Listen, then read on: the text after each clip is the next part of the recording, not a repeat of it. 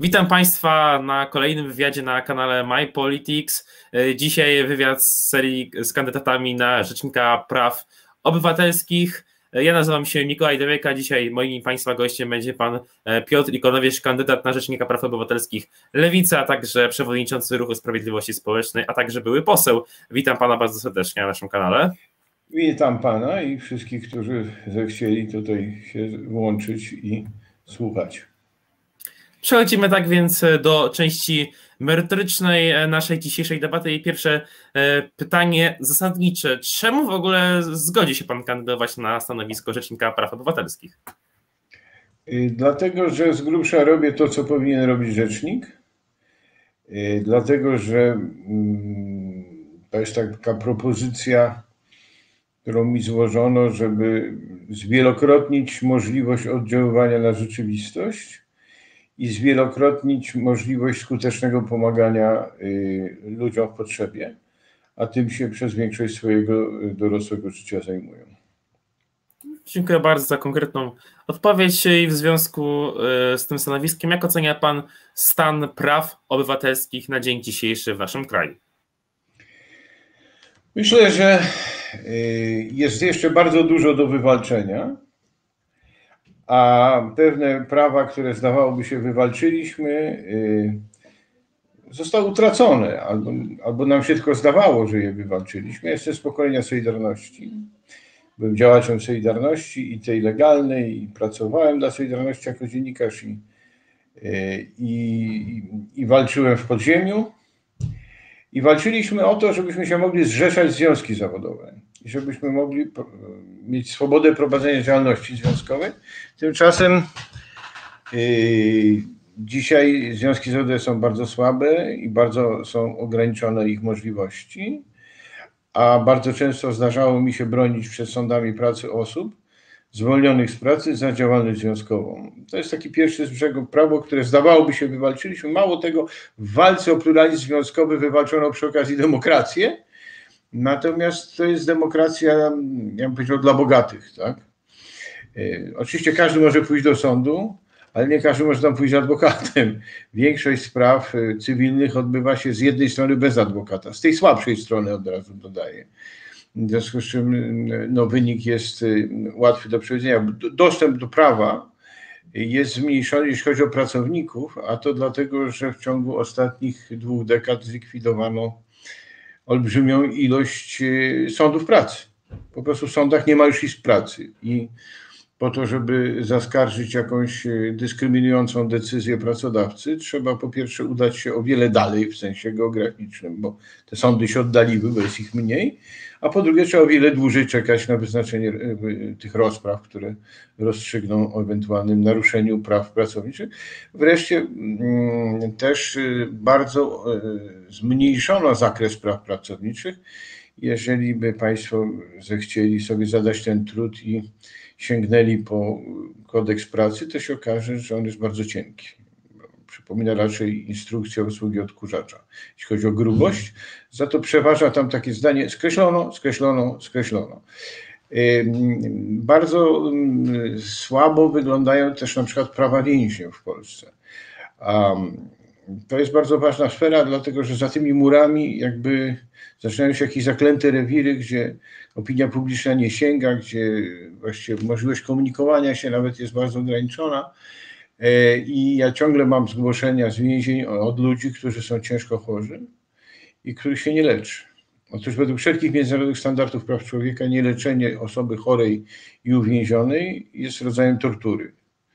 Więc jeśli chodzi o więziennictwo, to pod tym względem jesteśmy gdzieś na poziomie Turcji niestety, więc nie na najlepszym, na pewno nie, na pewno nie na poziomie europejskim. Ja pamiętam, za czasów Solidarności działało takie stowarzyszenie Patronat, które bardzo wiele zrobiło dla praw więźniów i taki patronat dzisiaj by się przydał. Jakaś taka prężna organizacja, no a przede wszystkim oczywiście interwencje Rzecznika Praw Obywatelskich. Ja miałem do czynienia z człowiekiem, którego zresztą gościłem w swoim domu, który trafił do więzienia, miał zapalenie trzustki i gdyby nie nasza interwencja, to by zmarł, bo leczono go lekami, które nie wymagały recepty, a zapalenie trzustki to jest choroba, która się kończy śmiercią nieleczona. Tak?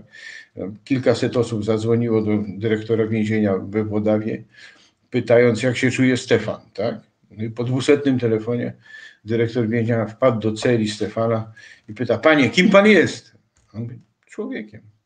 I chcę powiedzieć, że wtedy y, nawiązałem współpracę z Adamem Bodnarem, który był przewodniczącym y, Fundacji Helsińskiej. I on również, jego interwencja wpłynęła na to, że Stefana, a również innych więźniów zaczęto leczyć. Ja dodam tylko jako ciekawostkę, że lekarz więzienny we Włodawie miał y, pseudonim, który nadali mu więźniowie, dość wiele mówiący, Pawulon. Jeśli chodzi o prawa obywatelskie, to też y, ja myślę, że mamy do czynienia z dyskryminacją ze względu na status majątkowy. Tak? Że ludzie gorzej uposażeni są gorzej traktowani nie tylko w sądach, ale i w urzędach, a nawet w bankach. To taki prosty przykład. W którymś momencie zacząłem trochę lepiej zarabiać, miałem dobry kontrakt i dostałem tak zwane złote konto w banku i raptem się okazało, że ja za kartę kredytową płacę dwa razy mniej niż mój sąsiad, który zarabia mniej. Tak? Y, no to jest dyskryminacja. Y, wreszcie no istnieje też dyskryminacja, która wynika y, z kapitału kulturowego. Znaczy człowiek, który na przykład idzie do sądu i nie potrafi się wysłowić, nie rozumie tych sformułek prawnych, jest właściwie skazany na pożarcie. Ja pamiętam taką scenę, kiedy broniłem starszej pani, 90-kilkuletniej, przed eksmisją. To była eksmisja z budynku w Warszawie, bardzo znanego budynku, bo to jest budynek, który odziedziczył pan, pan Walc, małżonek pani Grunkiewicz-Walc, po szmalcowniku jeszcze, żeby było śmieszniej, na Noakowskiego 16. I pani y, sędzia wygłosiła jakąś formułkę, po czym poprosiła mnie jako pełnomocnika procesowego pani pozwany w eksmisję, niech pan to tej pani przetłumaczy. Ona nie była Czeczenką, Szwajcarką, nie była Polką z wyższym wykształceniem i nie było żadnej potrzeby, żeby jej to przetłumaczyć. Ale sędzia założyła, że skoro ona jest pozwana na eksmisję, to jest osobą gorszej kategorii, która nie rozumie, co się do niej mówi i trzeba jej to przetłumaczyć. Prawda? Takie założenie z góry, że osoba, która znajduje się w gorszej sytuacji, jest po prostu gorsza. No, taki inny klasyczny przykład. Mam taką znajomą, której pomagaliśmy, która była kiedyś bezdomna i zajęła pustostan, potem załatwiliśmy jej mieszkanie, ale przyszła pracownica pomocy społecznej, miała piątkę dzieci i zadała jej dość charakterystyczne pytanie. Gdzie są tatusiowie? Jak można się tak zachować? Ona odpowiedziała zgodnie z prawdą, że tatuś, bo był tylko jeden, znajduje się akurat na cmentarzu, bo już nie żyje. Tak? Ale założenie, że ktoś jest biedny, to na pewno ma wielu ojców te dzieci, znaczy, że jest po prostu rozwiązły, że jest niemoralnie się prowadzi. Tak, to jest za, ci, ci bogaci, zamożni mieszczanie mają w sobie budowaną po pierwsze takie założenie, że ludzie, którym się gorzej wiedzie, są od nich gorsi, a po drugie jeszcze wierzą w to, że mają prawo pouczać, być nauczycielami, bo są lepiej sytuowani. Z tego, że ktoś ma zasobne konto y, bankowe, nie wynika, że jest lepszy w sensie moralnym, czy mądrzejszy to jeszcze nic, nic nie znaczy. Oczywiście o tego typu dyskryminacji można by dużo mówić. Jednym z najważniejszych praw pracowniczych, który dzisiaj w Polsce jest łamany, jest prawo do zapłaty. Otóż do mnie się ciągle zgłaszają ludzie. Teraz mam taką sprawę dwóch młodych ludzi, którzy pracowali na budowie, umowa była ustna. Jednemu pracodawca jest winien 5 tysięcy, a drugiemu 9. Tak? Czyli nacharowali się dla faceta i nie dostali, nie dostali zapłaty. I ja będę musiał jakoś spróbować te pieniądze dla nich uzyskać. E, zwłaszcza, że ten przedsiębiorca jest znany z tego, że zatrudnia e, ludzi, po czym im nie płaci. Więc to nie jest jednorazowy wybryk. Tutaj na pewno jest potrzebna kampania na rzecz wprowadzenia legislacji, która uczyni tego typu praktyki, w przypadku kiedy on nie, niewypłacenie wynagrodzenia nie wynika z jakiegoś bankructwa czy niewypłacalności, tylko zwykłego odsłaniactwa, bo człowiek dalej zatrudnia, dalej działa na rynku, tylko jakoś tak stara się, żeby pracowano dla niego za darmo, to powinno być karane więzieniem i to moim zdaniem y, nawet y, srożej niż zwykły zabór mienia, bo to jest odebranie podstaw bytowania rodzinom. No, ci ludzie pracują, ojcowie, matki rodzin pracują i nie dostają zapłaty i nie mają z czego żyć. No, nie można nic gorszego chyba drugiemu człowiekowi zrobić. I, e, i tutaj ja jako, jako działacz społeczny no, staram się te zapłaty e, wyciągać od tych pracodawców. No, ostatnio miałem taką ciekawą sprawę. Proboszcz nie chciał zapłacić kościelnemu za kopanie grobów. Moja interwencja sięgnęła aż do arcybiskupa, ale kościelny swoje, swoje pieniądze dostał. Myślę, że naj, najważniejsze prawa, które nam odebrano, to jest prawo do godności. Y, to jest y, sposób, w jaki traktuje się ludzi właśnie gorzej uposażonych i w sytuacji pewnej zależności, na przykład w pracy.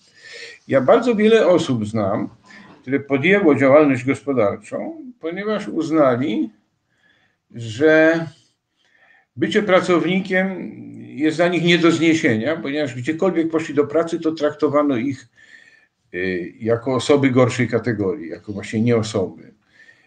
Mobbowano, oszukiwano, ale przede wszystkim nie szanowano. Każdy chce być szanowany, bo wtedy ma poczucie własnej wartości, może być szczęśliwy. I dlatego oni już woleli prowadzić działalność, często działalność na granicy opłacalności, byle tylko nie zatrudnić się u kogoś, kto będzie mnie źle traktował. To jest bardzo charakterystyczne.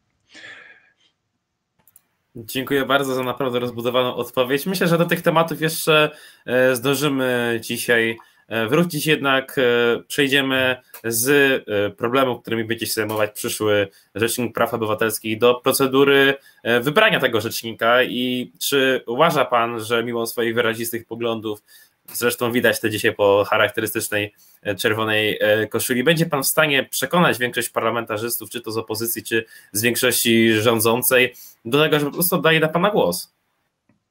Myślę, że tak. To znaczy nie, nie wykluczam takiej możliwości. Oczywiście nie jestem aż takim optymistą, żeby sądzić, że mamy to e, w kieszeni, ale mm, ja sobie wyobrażam, że e, większość parlamentarzystów na tyle zna moją działalność i mój życiorys, że wiedzą, że e, trudno znaleźć osobę, która by się bardziej angażowała w losy osób pokrzywdzonych, a to jest zadanie rzecznika, żeby się ująć za każdym, kogo prawa e, i wolności zostały naruszone.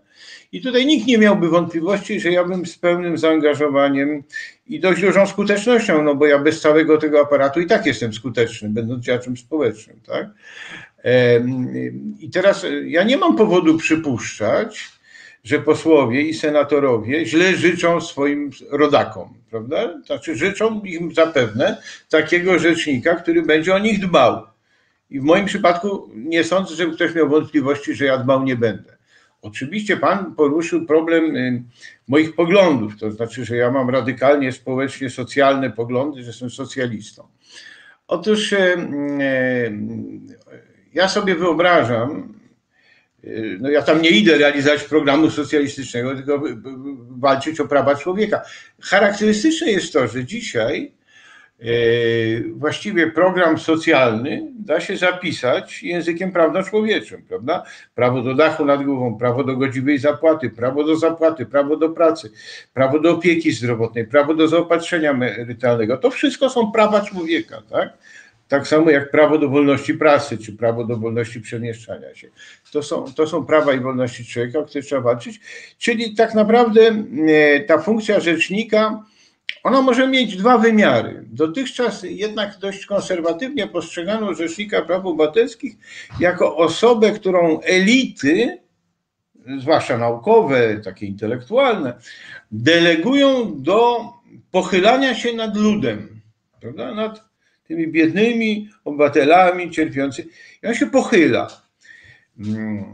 A ja raczej sobie wyobrażam to odwrotnie, że oto ludzie cierpiący tam na dole, ci zwykli zjadacze chleba, y, nie dżentelmeni, bo jednak muszą pracować na swoje utrzymanie, a dżentelmen to jest ten, co nie musi pracować na swoje utrzymanie, przynajmniej w definicji brytyjskiej, że ci nie dżentelmeni wysuną kogoś, kto będzie ich reprezentował. Czyli ja będę jako rzecznik emanacją tych mas ludowych, a nie tych elit, które się nad nimi pochylają. I do takiej funkcji socjalista nadaje się jak najbardziej. Wreszcie, na czym opieram swoje rachuby? No, na tym moim takim symbolicznym dość wezwaniu, żeby na czas głosowania posłowie, senatorowi, posłanki i senatorki odłożyli na chwilę książeczki partyjne i przy głosowaniu posłużyli się nie przynależnością partyjną, tylko sumieniem i wtedy uważam, że mam szansę.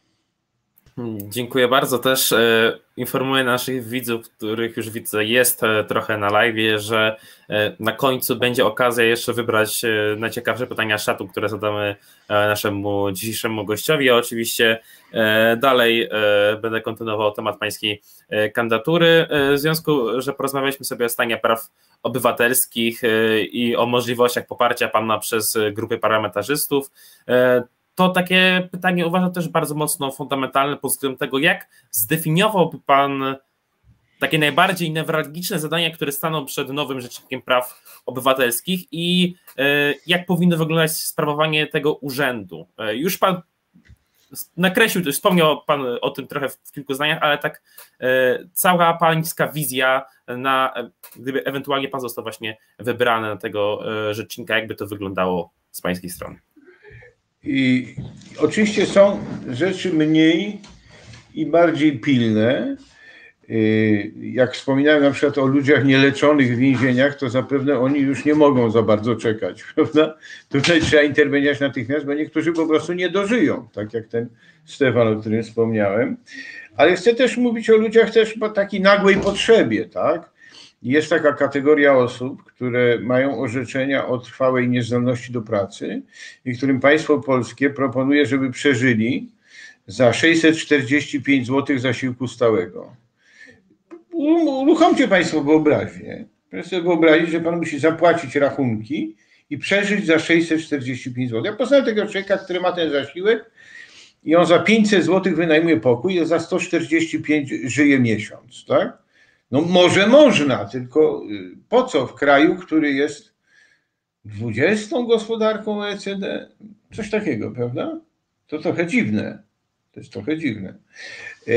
I tym ludziom oczywiście też trzeba będzie pomóc, więc trzeba będzie y, te rzeczy y, mocą autorytetu rzecznika jakby wepchnąć do porządku obrad Sejmu i do dyskursu publicznego, bo Partie właściwie zajmują się sobą nawzajem i nie mają zbyt wiele czasu na zajmowanie się istotnymi problemami obywateli. I to jest zadanie rzecznika, żeby dowiedziawszy się o różnych kompromitujących faktach i różnych. No dzisiaj byłem, byłem pod fabryką Solaris, to jest Bolechow za Poznaniem, gdzie y, dyrekcja tej fabryki zagroziła czy zapowiedziała wręcz pracownikom, którzy byli na zwolnieniach lekarskich, że ich zwolni, bo za dużo chorują. Tak? Y, no to jest, y, no zwłaszcza teraz, w okresie pandemii, y, nie tylko coś niezwykle podłego, ale skrajnie nieodpowiedzialnego, dlatego że już dzisiaj mamy niestety do czynienia z masowym zjawiskiem przychodzenia do pracy pomimo choroby w obawie przed zwolnieniem. Prawda? W związku z czym część tych ludzi no, przynosi COVID do pracy, no bo, bo nie chcą, żeby ich zwolnili i oszukują się, że może nie mają COVID-u, prawda, a oni jednak tej pracy idą na wszelki wypadek. Więc troską takiej dyrekcji, która byłaby odpowiedzialna i, i humanitarna, no byłoby raczej przemawianie do rozsądku pracownikom i mierzenie gorączki na bramie, nie? żeby ci z gorączką jednak nie wchodzili w czasie pandemii. Zna pan takie zakłady? Ja pewnie nie znam zakładu, gdzie się mierzy gorączkę na bramie, a to są takie termometry, które robią pik przez sekundę już wiadomo, czy powinien wejść, czy nie. A nie, nie, tu jest dokładnie odwrotnie. Zwalniamy ludzi za to, że za dużo chorują, tak? E, to po pierwsze, a po drugie, jak Związek Zawodowy, Konfederacja Pracy, zrzeszony w OPZZ, powiadomił opinię publiczną o tym gorszącym fakcie, to otrzymał korespondencję, z którego wynikało, że związkowcom grozi się odpowiedzialnością cywilną i karną za ujawnienie tejże strasznej tajemnicy handlowej, jakim jest to świństwo, które robi ta dyrekcja. Tak? Więc y, to pokazuje, jak pilne są zadania. Dzisiaj mamy pandemię, tak? No to trudno sobie znaleźć pilniejsze zadanie niż powstrzymanie tego szaleństwa pracodawców, którzy w imię chciwości i zysków chcą narazić na szwank nasze zdrowie i życie. Nic cenniejszego przecież nie mamy. Wreszcie co do formuły takiej, takiego urzędu, my wiemy, że mm, Biuro Rzecznika Praw Obywatelskich jest bez przerwy y, bombardowane cięciami budżetowymi. To znaczy, jakby on jest trochę solą wokół władzy i dobrze, bo gdyby nie był solą wokół władzy, nie byłby dobrym rzecznikiem. No na tym polega rzecznik, że jest niewygodny dla władzy, prawda? Bo patrzył władzy na ręce, bo on reprezentuje obywateli. Ale ja sobie wyobrażam tak to biuro rzecznika, że ono byłoby w różnej mierze przedłużeniem organizacji pozarządowych, organizacji społecznych, związkowych, lokatorskich, dzięki czemu ten budżet nie byłby najważniejszy, bo całą masę rzeczy można by organizować y, na zasadzie działalności społecznej tych organizacji pozarządowych, które współpracowałyby z rzecznikiem i w ten sposób Niestraszne byłyby nowemu rzecznikowi cięcia budżetowe. Wreszcie, ponieważ Pan mnie pytał, jakie są szanse, ja sobie przypomniałem taki argument, który niedawno przyszedł mi do głowy. Otóż, gdyby wygrał jeden kandydat, no to opozycja miałaby, pan Potyra, tak? E, e, opozycja miałaby swojego, swój pionek na szachownicy walki z władzą, prawda? No bo tak jest traktowany rzecznik przez opozycję. On ma tam toczyć ten bój o Trybunał Konstytucyjny i żeby na każdym kroku punktować rząd i mu tam dowalać w imieniu opozycji, która chce wywalczyć władzę. E, gdyby wygrał kandydat PiSu, no to PiS ma z kolei e, swój pionek na szachownicy walki z opozycją, z platformą i tak dalej. I to jest punkt, dla, e, czyli albo jedna, albo druga strona zdobywa po punkcie. W przypadku, gdybym ja został rzecznikiem, mamy remis, bo ja z całą pewnością nie będę pionkiem ani jednych, ani drugich, bo ja będę reprezentował tych na dole. Dziękuję bardzo. Skoro już e, e, raczył Pan wspomnieć, tak powiem, o e, swoich kontrkandydatach na Urząd Rzecznika Praw Obywatelskich, właśnie następne pytanie dotyczy tego, co może Pan o nich powiedzieć, co Pan o nich sądzi, co Pan o nich przede wszystkim w ogóle wie. I wie pan, ja pewnie wiem niewiele więcej niż opinia publiczna, która nie wie prawie nic. Y, I to jest ten kłopot z takimi kandydatami, y, ponieważ dopiero musielibyśmy się jakoś z nimi zapoznać, a oni nie bardzo nam dali szansę, bo też nie zdobyli jakiegoś dużego zainteresowania ze strony środków przekazu. Ja naprawdę szukam tych informacji i nie ma ich zbyt wiele. Y, wiem, że obaj panowie wywodzą się ze środowiska naukowego bo jest taka koncepcja, że to powinien być wybitny prawnik. No, ja reprezentuję koncepcję, powinien być przede wszystkim społecznik, ale to są różne koncepcje, tak? One są równie uprawnione. Yy, I o kandydacie właśnie, o panu Bartłomieju Wróblewskim wiem tyle, że jest człowiekiem yy, bardzo dobrze wychowanym i kulturalnym, ponieważ zaszczycił mnie telefonem i był dla mnie bardzo miły i uprzejmy. Co bardzo kwituje jako miły gest. Co nie zmienia mojego e, stanowiska, no, że on e, wysuwając ten wniosek do Trybunału Konstytucyjnego, który spowodował wiadome orzeczenie tegoż Trybunału, którego skutki najlepiej wyraża zbitka pojęciowa piekło kobiet, nawet wyraził takie zdanie, że to, że kobieta miałaby patrzeć na śmierć istoty, którą właśnie urodziła, to wcale nie musi wywołać u niej traumy. Coś takiego. Znaczy, jak na naukowca trochę nielogiczne, trochę dziwne. Ale okej, okay, różne widocznie są rodzaje nauki, tak? I jest taka, która uważa, że rodzice są nieczuli na śmierć tego życia, która ta kobieta właśnie wydała, ale może on zna takich rodziców, ale moim zdaniem tych rodziców dopiero trzeba leczyć, jeżeli oni nie przeżywają traumy, tak? Znaczy coś jest z nimi nie tak. Okej, okay, znaczy można by się tak dłużej wyżywać, ale ja rozumiem, że pan y, y, kandydat Wróblewski, pewnie poseł, pewnie nie chce, nie chce tego zdania swojego pamiętać, bo ja pamiętam, że jak tylko ogłoszono ten wyrok Trybunału Konstytucyjnego, to bardzo trudno było znaleźć wnioskodawców, bo oni się wszyscy gdzieś pochowali. No i mieli rację, bo tu się nie ma czym chwalić. A co do kandydata opozycji czy platformy, to ja rzeczywiście proszę mi wybaczyć, ale no mogę się zasłonić tylko nieznajomością, niewiedzą i bardzo za to przeprosić, bo pewnie powinienem był się więcej dowiedzieć. Jeżeli chce Pan się więcej dowiedzieć o, panie, o Panu Patyrze, to zapraszam jutro na e, wywiad, który również będę prowadził e, o 17 z Panem Patyrą. Też przy okazji widzów zapraszam. Wie pan, to, to taka... tyle trudne.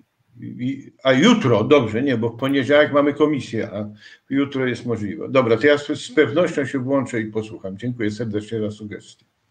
Dziękuję. No, taka szybka autoreklama przy okazji wywiadu. Mam nadzieję, że nawet zada Pan jakieś pytanie, jeszcze to zobaczymy. Ale e, kontynuujemy e, wywiad na razie tutaj oczywiście z Panem. I kolejne pytanie rodzi się. Na razie oczywiście nie ma e, decyzji parlamentu. Nie wiadomo, czy zostanie Pan rzecznikiem, czy nie. Ale w momencie, gdyby nie udało się Panu zostać jednak nowym rzecznikiem praw obywatelskich, jak, jak uważa Pan, jakie ma Pan plany na, na, swoją dalszą działalność społeczną, na swoją dalszą działalność polityczną? Wie co, y, ja nawet nie bardzo już mogę planować, dlatego że za mnie planują ludzie, którzy się zgłaszają po pomoc.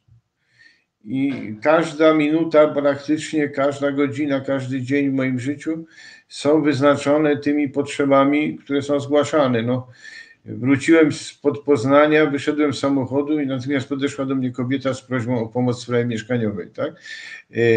I to, co na pewno mm, będzie takim nowum, to jest to, że dzięki tej kandydaturze pewne rzeczy, które robimy tutaj w Kancelarii Sprawiedliwości Społecznej, w Ruchu Sprawiedliwości Społecznej, zostały bardziej jeszcze rozreklamowane, by tak rzec. I to pozwala nam, i już, już to się dzieje, na to, że mamy, możemy rekrutować nowe rzesze y, wolontariuszy. Tak, ja dam taki przykład. No myśmy y, w Łodzi mm, zapewnili dach nad głową osobom, które były bezdomne, y, ponieważ miasto Łódź miało to w nosie.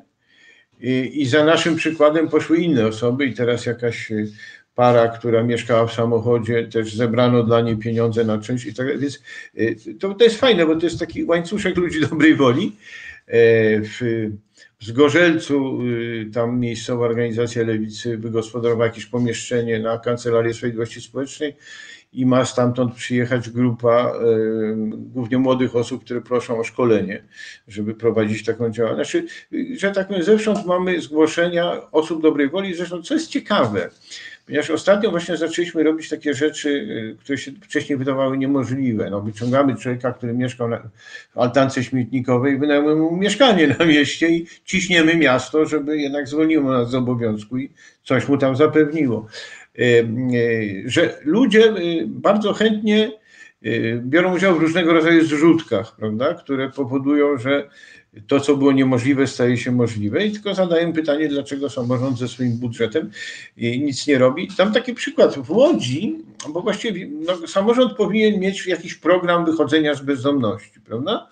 I są takie uchwały podejmowane przez samorządy i na przykład samorząd łódzki podjął uchwałę o, wycho- o, o wychodzeniu z bezdomności I, i wie pan, na czym polega wychodzenie z bezdomności według tej uchwały łódzkiej? Na rozdawaniu bezdomnym mydła. To nie jest żart, naprawdę. Znaczy to, to po prostu są jakieś kpiny z, z poważnych problemów, bo to są poważne problemy. No, mamy, mamy całą masę tych pustostanów, czy w Gdańsku, czy w Łodzi, czy w Warszawie i ludzie w tej chwili zajmują te pustostany no bo się nie mogą doczekać na jakąś pomoc mieszkaniową, a wynajęcie mieszkania na wolnym rynku to jest równowartość jednego miesięcznego wynagrodzenia i to wcale nie małego. I w tej sytuacji, w tej sytuacji wiele osób, zwłaszcza z moimi dziećmi, jak nie ma wyjścia, to zajmuje pustostan. Tak? Yy, niedawno właśnie mieliśmy taką sytuację i ja broniłem takiej rodziny w sądzie. Ona uzyskała uprawnienie do lokalu socjalnego. Oni mają dwie małe córeczki, uciekli przed przemocą domową, gdzie były dwie niebieskie karty. I, i wiecie pan, że miasto złożyło apelację od wyroku nadającego tym rodzicom prawo do lokalu socjalnego. Miasto stołeczne Warszawa, pan Trzaskowski i tak. Jest, jest, naprawdę będę miał co robić do końca życia I chcę powiedzieć, że ja nie narzekam. Ja bardzo lubię to robić, bo ja lubię ludzi. Także skoro, e, skoro znamy prywatne plany pana Piotra Ikonowicza, to możemy przejść do organizacji, której przewodniczy do Ruchu Sprawiedliwości Społecznej. E, czy ta organizacja, ten ruch zamierza się jakkolwiek angażować politycznie jeszcze, jeżeli chodzi o wybory, tworzyć jakieś struktury i Ruch Sprawiedliwości Społecznej to jest bardzo y, specyficzna partia, ponieważ to jest taki pierwszy uwieńczony sukcesem y, y, sposób na organizację ludzi pracy. Jak pan pójdzie do tych wszystkich innych partii, czy one się nazywają lewicowe, czy prawicowe, czy centrowe, to ma pan tak, pracowników naukowych, urzędników i biznesmenów. Właściwie więcej to pan nikogo tam nie spotka. No. Bo sprzątaczka na przykład, a nie, sprzątaczka to sprząta, jak oni skończą zebranie. Tak? U nas jest inaczej. U nas sprzątaczka jest członkiem partii. Tak? Y, kucharka, y, pracowniczka pralni, ochroniarz, kierowca autobusu miejskiego. My, my, taką partię stworzyliśmy. Tak? I to samo w sobie jest bardzo ciekawym takim doświadczeniem socjologicznym, prawda? że okazuje się, że ludzie, o których w ogóle nie myśli się w kontekście polityki, oni się mają nie mieszać, oni mają co najwyżej głosować, prawda? Że oni utworzyli partię. I oczywiście to jest partia bardzo szczególnego rodzaju, ponieważ ona w dużej mierze jest przedłużeniem tego e, Stowarzyszenia Kancelaria Sprawiedliwości Społecznej, bo angażuje się w podobne problemy, w podobne sprawy, w tę bieżącą walkę z niesprawiedliwością, jaką rodzi ten system, który mamy w Polsce, prawda? I jeżeli w fabryce Amika we Wronkach kobieta się wiesza w wyniku mobbingu, a to już wiemy z wyroku sądu wobec pracownic, które tak twierdziły, które tam oskarżono, no to wygrały. Ja mam jeszcze proces, który trwa, to na ten proces, e, to, to pod tą fabrykę jedzie autokar pełen wolontariuszy z Ruchu Sprawiedliwości Społecznej, którzy wsiadają o drugiej w nocy do autokaru, płacą za siebie i jadą bronić tych kobiet y, i protestować pod fabrykę. Czyli y, to jest, y, to jest ruch bardzo specyficzny, bo to jest ruch takiej solidarności z innymi pracownikami, czy z lokatorami, czy z ludźmi pokrzywdzonymi. I to jest ruch ludzi, którzy sami w życiu bardzo często też doznali wielu krzywd i do których inni wyciągnęli rękę, tak? Bo w ramach tego ruchu, nie wiem, można, jeżeli samotna matka ma kłopot z wyremontowaniem mieszkania, czy z naprawą, instalacji elektrycznej, to na pewno w naszej organizacji znajdują się fachowcy, którzy temu zaradzą i nie wezmą za to żadnych pieniędzy. Więc bardziej też może przypomina spółdzielnie. To jest bardzo ciekawe, co pan, pan się pyta o plany typu wybory. Wie pan, w momencie, kiedy dojdzie do uświadomienia sobie przez większość ludzi pracy w Polsce, a mamy 16 milionów nie dżentelmenów, czyli ludzi, którzy muszą zarabiać na życie, ludzi pracy najemnej, kiedy oni uświadomią, że to, że są pracownikami jest najważniejsze w ich życiu, przepraszam, muszę wyłączyć telefon, e, to, to, to, to wtedy oczywiście taka partia jak nasza będzie miała szansę, tak? bo dopóki, dopóki wszystkim się wydaje, że są tylko konsumentami, to nie mamy żadnych szans, bo po prostu zrobiono ludziom kiełbie wełbie, tak? No, propaganda, reklamy, to wszystko sprawiło, że tak jak ja pamiętam w czasach Solidarności wszyscy sobie robili zdjęcia z robotnikami w kaskach, tak? Tak dzisiaj nikt nie chce stać koło robola, tak? No więc trzeba, wie pan ile, o, zadam panu ja pytanie, bo to, ostatnio tak pytanie wszystkim zadaję, bo jestem bardzo ciekaw, mianowicie czy wiedzą. Jak pan sądzi, jaka jest w Polsce liczba robotników przemysłowych? To jest bardzo trudne pytanie do określenia teraz, tak jakbym też zależy, ja jak definiujemy, ja zależy, jak, zależy jak definiujemy robotnika przemysłowego, też mi się wydaje, to e, ale jakbym miał zatrudniony tak, Robotnik fizyczny zatrudniony w przemyśle. Myślę, że to może być. Mogę przesadzić, ale wydaje mi się, że to mogą być 4 miliony, 3 miliony. Znakomicie takiego. pan trafił, 5 milionów. Prawie pan trafił. Ale większość ludzi sądzi, że o wiele mniej, prawda?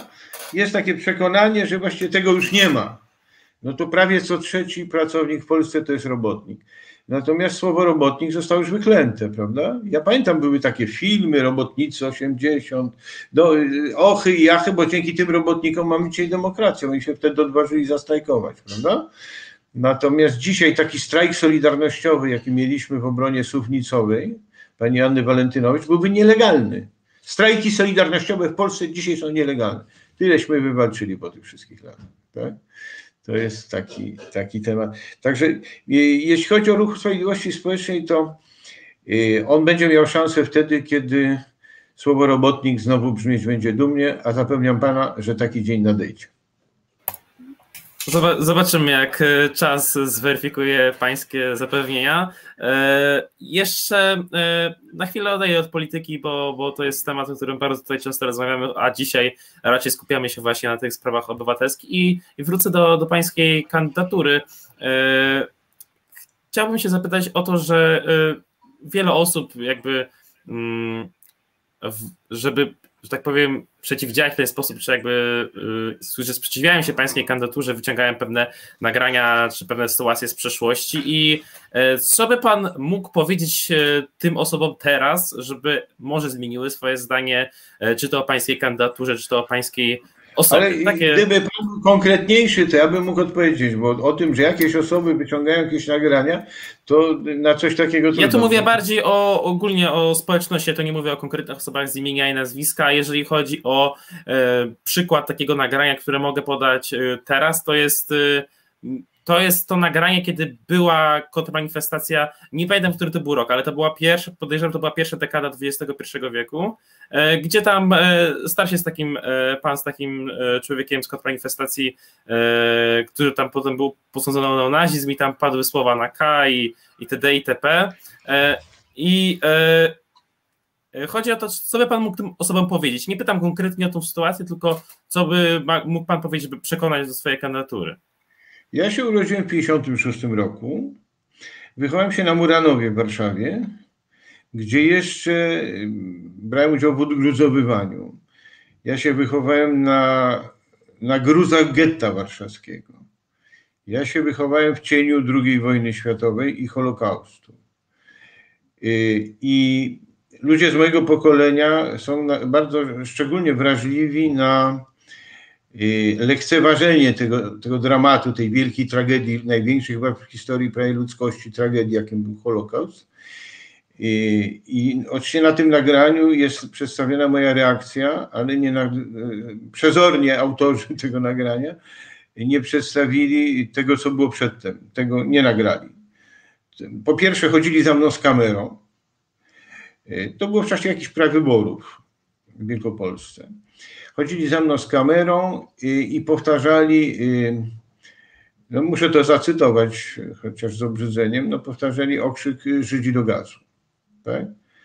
Y, po pół godzinie takiego katowania, tym, takich prowokacji, no jawnych prowokacji, y, puściły mi nerwy i no, zareagowałem w sposób bardzo niekulturalny, ale właściwie no, sam, no, sama reakcja była reakcją naturalną kogoś, z takim backgroundem, z, taką, z takim wychowaniem i z taką wrażliwością. No, po prostu uważam, że y, y, przejawów y, negacjonizmu, rasizmu, antysemityzmu nie wolno tolerować, jeżeli nie chcemy, żeby ta tragedia, jaką przeżywa ludzkość w XX wieku, się kiedykolwiek powtórzyła.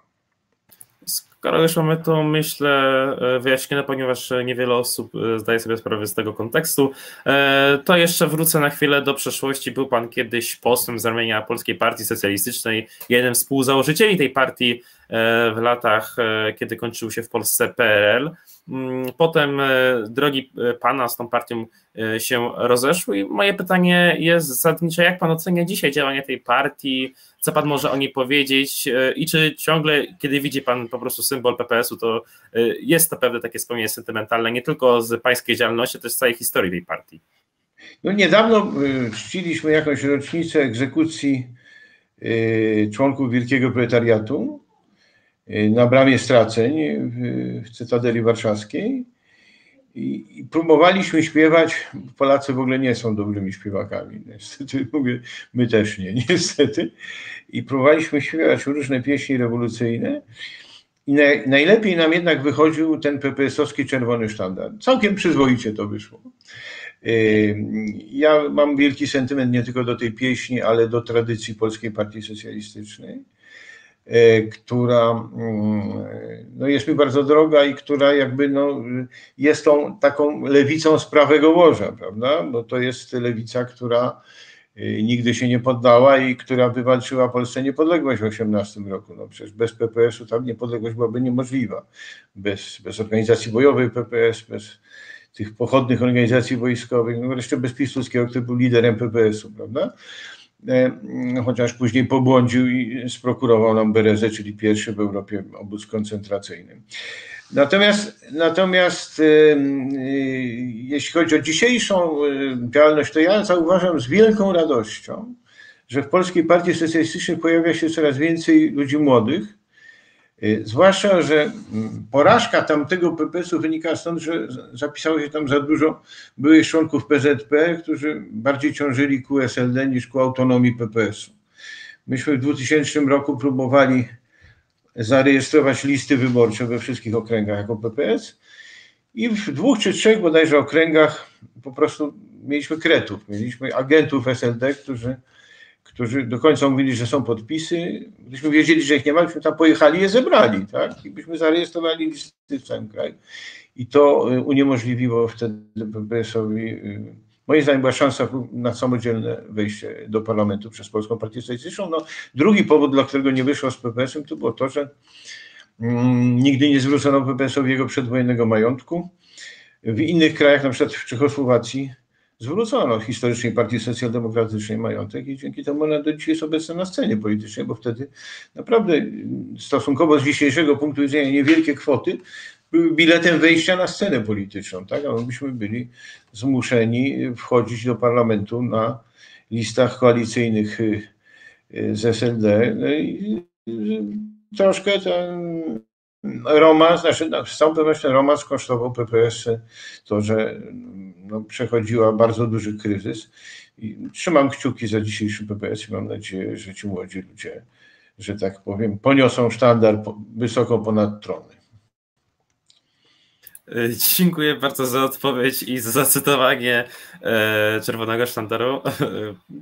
Pieśń, która oznacza, że nawet po prostu ktoś, kto się interesuje polityką, także e, ona ma też swoje miejsce w internecie na pewno. Myślę, że ludzie mogą z tego skorzystać nawet po, tej, po tym wywiadzie, ale nie widzę żadnych pytań z czatu za bardzo, które mogłyby odnieść się do naszego dzisiejszego tematu, także w związku z tym dziękuję naszym widzom za dzisiejszy cały wieczór, ponieważ jeszcze przedtem był program e, Młodzież versus e, Politycy. Dziękuję e, panu za wizytę u nas na naszym kanale. Zapraszam oczywiście jeszcze raz wszystkich na jutrzejszy odcinek z panem Patyrą, na odcinek Młodzież versus Politycy, którym gościem będzie pan Piotr Szumlewicz.